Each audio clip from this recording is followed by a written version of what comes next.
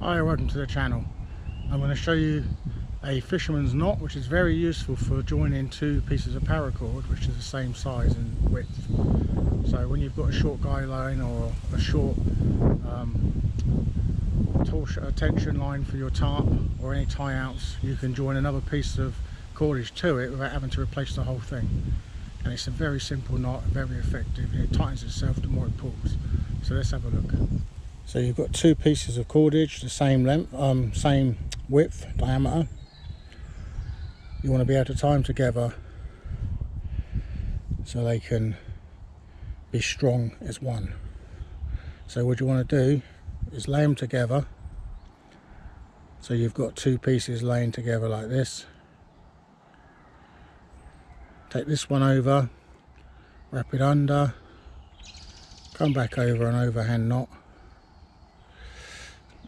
so you come back over tuck it under so it's a straight overhand knot. Now on the other one you do the same. You go over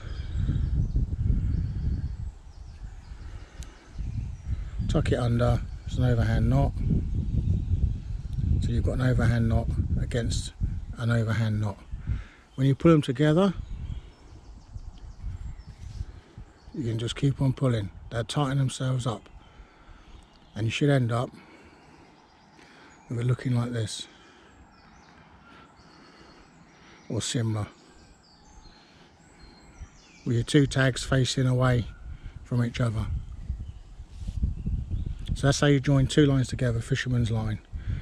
You can release them pull them apart bend it on the join and it should pull out But if you're going to join them for a guy line, you probably just leave them afterwards. So that's the fisherman's knot. Thanks for watching. See you on the next one.